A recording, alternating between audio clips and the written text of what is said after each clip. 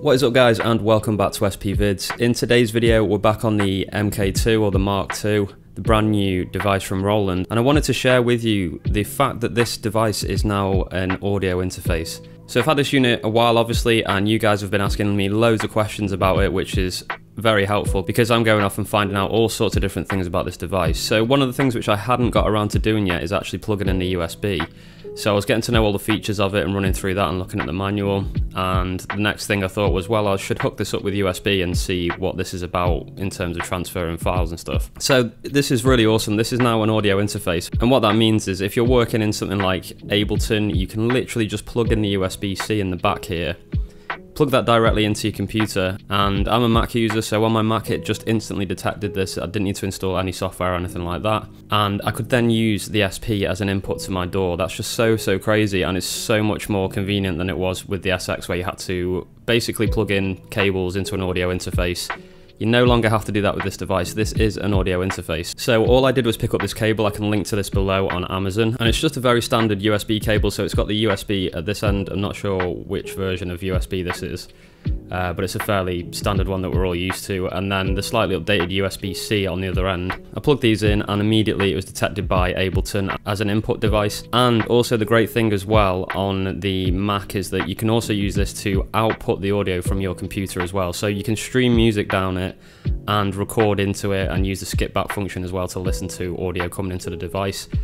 So if you're a person that loves sampling from YouTube or you use streaming services to get your samples, this really is a bit of a game changer to be honest because you no longer need an audio interface in order to get audio to this device, you just need this USB cable. And yeah, since owning this, I've actually just been using this permanently instead of my audio interface to just listen to any sort of audio that I need from a computer, whether it's listening to music or watching YouTube videos or doing anything online, I just hook my headphones into this and I'm using this to listen to all that audio.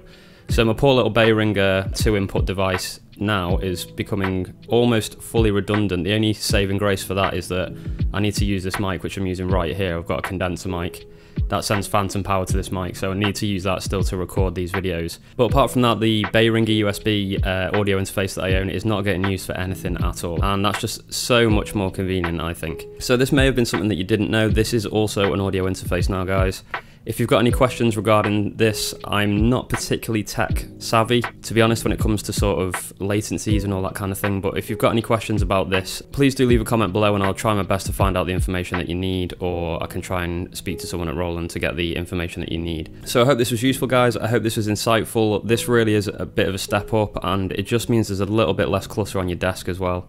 It's cleaned up my working area a lot more, and there's a lot less cables going on.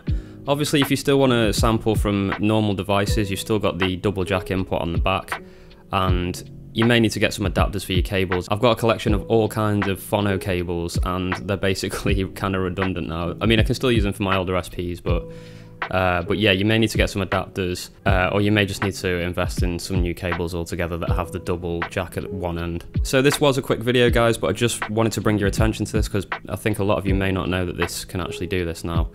Uh, so it's a, another nice feature that Roland have included in this device. And it's another one of those updates where they've obviously listened to the community and, and thought about what people actually need. So props to Roland for that one. I really like this feature. And yeah, like I say, I'm using it all the time for getting samples and also just listening to audio on my computer.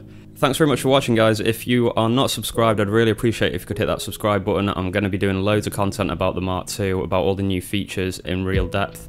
I've already dropped a video about the chopping mode, which I'll link to above, and you can go and check that out if you want to. Uh, but yeah, these updates are going to be coming thick and fast. I'm trying to upload a lot more uh, at the moment. I'm sure you guys have probably noticed. So yeah, there's loads of content coming on this channel. It's not necessarily going to be all about the Mark II in the future either. Obviously, there's other samplers which I want to play around with and do tutorials about as well. So if you're into sampling, making lo-fi hip-hop and hip-hop, then yeah, please do subscribe and become a part of this community on this YouTube channel. Keep making beats, guys. I'll be back with more videos in the next couple of days. Peace!